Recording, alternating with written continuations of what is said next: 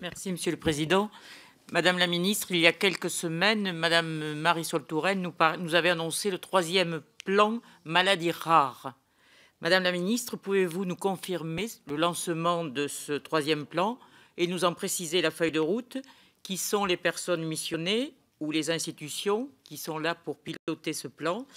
Je voudrais savoir également si les cancers pédiatriques et les leucémies chez l'enfant auront toute leur place au sein de ce plan des financements spécifiques sont-ils mis au service de ce plan? Et enfin, pouvez-vous nous donner des précisions sur l'appel à projet en vue de la labellisation de centres de référence maladies rares?